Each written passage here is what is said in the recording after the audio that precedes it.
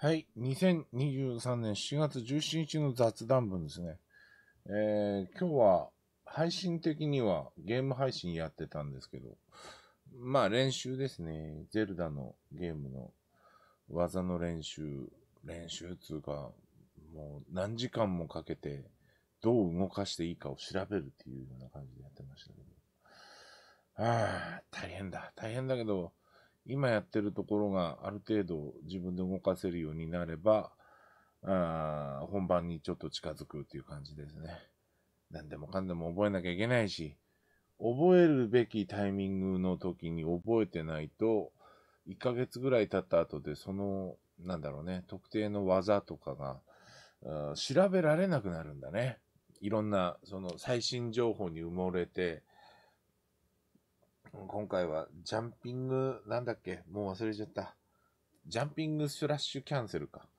あジャンプスラッシュキャンセルっていう技を今もう調べようと思うとなかなかきついっていうのがありまして。情報社会はっていうやつだななんていうふうに思いました。えっ、ー、と、今日は祝日です。月曜日だけど、外に出なくていいっていうのはありがたい限りで、東京が37度、名古屋が39度でしたっけ？で、アメリカの方で53度。えー、フランスの方で47度で山火事があるとかって言ってね。ああ、異常気象と取ればいいのか、取らない方がいいのか。まあ、どっちにしたって食料が取れなくなればみんなが飢え死にしてったりとかするんでしょうから、2、3年後にバタバタ死んでったりとか。すごいね。病気が流行って何年も活動ができないのがあって、その後は今度は、イナゴが飛んだりとか、あ穀物が取れないなんていうような、なこう悪魔の循環が、あとクリミア大橋がドカーンってなったりとかしたらしいとか。まあまあ、いいニュースは聞かない。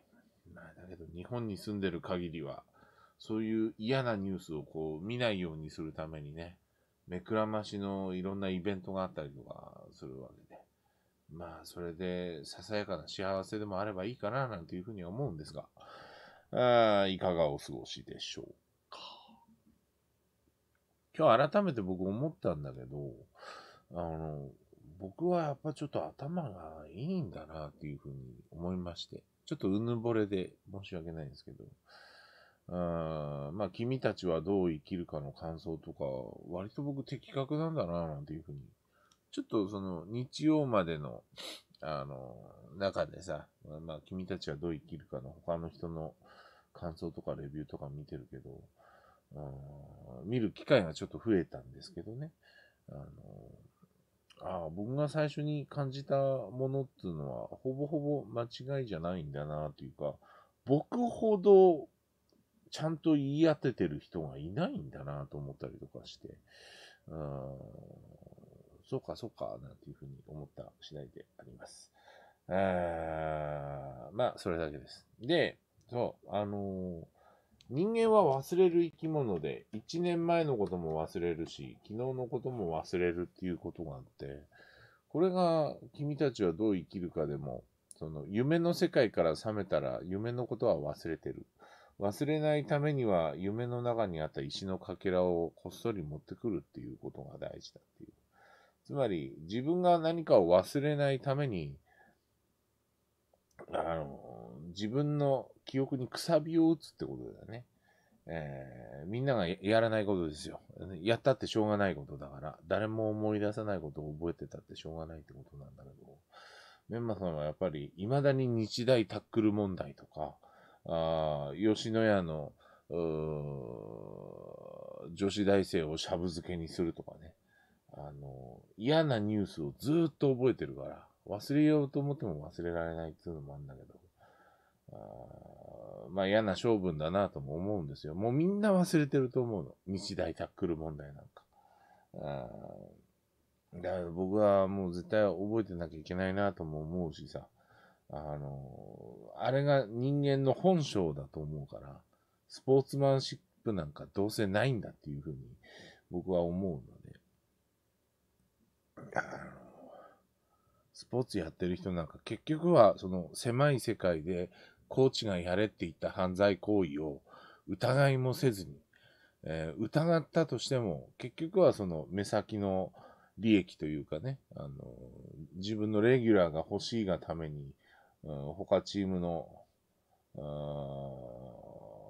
生命を脅かすようなタックルをしてもさ、上の人に言われたからっていうような言い訳が立つようなさ、そもそも、ああの時事件を起こした、もう何年も前ですよ。10年前にもなりそうな勢いですよ。あね、その後スポーツをやってないのかとか、あそうね。だから人殺しをしようとさ、万引きをしようとさ、まあ罪がバレたとしてさ、まあ、一生反省して生きるなんてこともないだろうから、ね、笑う時もあるだろうし、悲しい時もあるだろうなって思うんですけど、まあ、なんだろうね、タックルした人は一生笑って過ごさないでくれぐらいなことは僕も思ってしまうので、まあ、ぜ絶対にそうしろってわけじゃないんだけど、そこなんだなっていう。だから、僕は、他の人が忘れるようなことも覚えてしまう人だから、頭いいんだなと思っちゃってさ。あの僕はもっとバカになりたいし、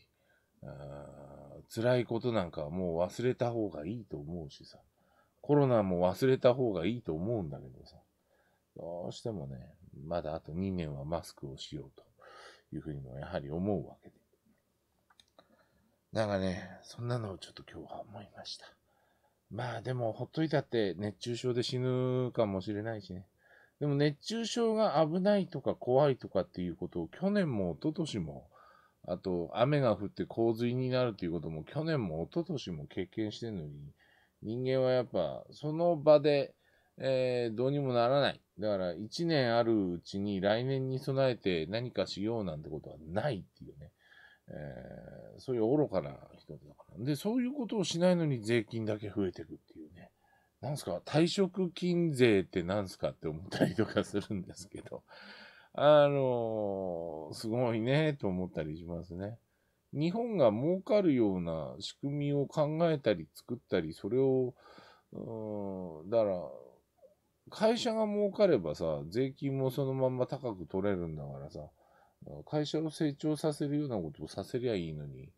なんだろうね。なんか、どっかで回収しようとかっていうので、や、や、やり続けるんだろうね。そのうち、手取りの現金よりも税金の方が高くなっちゃったりとか、する時も来るのかな。そうするとなんか見えない借金みたいなので、死ぬまで借金背負わされるような感じになるのかな。それで年金なくなりますよ、トントンですよ、みたいなこともするかもしれないな。なんていうことを思ったりとかすると、バカだな、なんていうふうにも思いますけど。うん、今日はちょっと忘れるっていうことを、うん、ちょっと考えたりとかいたしましたね。全部の、生まれてから死ぬまで全部のことを覚えるわけにもいかないんですが、うん、あまりにも、あまりにもちょっと前に起こったことを忘れすぎるし、うん、戦争体験も忘れすぎるしさ、何が原因で、こう、悪いことが起こるのかっていうこともみんな忘れてるっていう、すぐに忘れるっていうのがあるなぁ、なんていうふうに思いました。まあ今日はそんな感じです。えー、だから YouTube 的には多分雑談配信が、10分ぐらいの雑談配信が、こう、何個か並ぶ感じになると思いますけど。まあそれはそれでね、えー、あれしようかなとというわけで今日は以上です。明日も元気だったらいいんですが、もう辛いね。えー、明日とか 外出たくねえな。えー、なんでこんな暑い日にみんなが外に出たり、仕事したり、勉強しに行ったり、ああ、でも学生さんは夏休みに入るのか。しなきゃいけないんだろうな、なんていうのをちょっと思ったりとかいたします。あまあ、あとなんかがね、熱中症でソフトボールやってて倒れた子がいるとかいないとかね。あまあ、気をつけてください。あの、無駄に死んでもつまらんしね。えー、じゃあ終わります。お疲れ様です。